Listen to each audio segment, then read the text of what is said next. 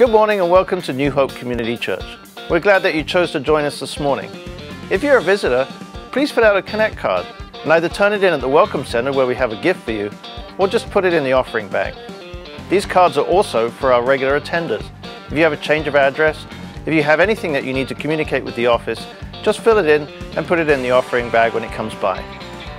There's so much activities going on in our church campus during the week, not just on Sunday mornings. Something for every age group. Here are just some of those things. Call it all seniors.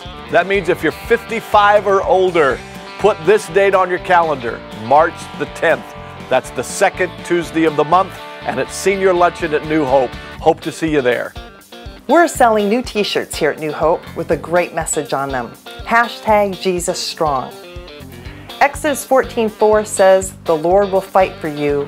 You need only be still." Isn't that the truth?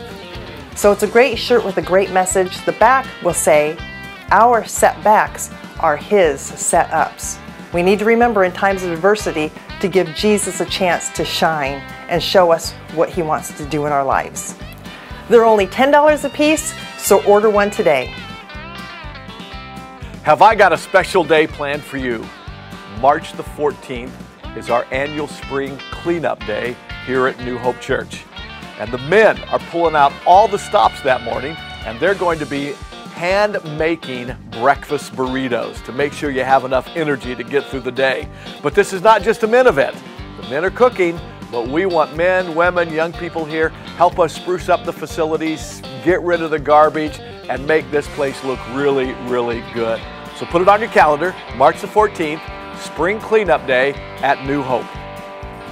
Hola, my name is Esau, and I'm one of the youth leaders here at New Hope, reminding you Mexico Missions is coming up. Don't forget Mexico Pie Auction, March 22nd. Be there.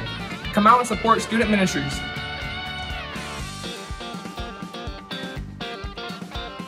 If you're the parent or grandparent of a kid going into junior high this coming school year, or one that's currently in junior high, then there's an informational meeting about summer camp up at Hume this summer, and that'll be on March 15th with Jen and Brittany after third service.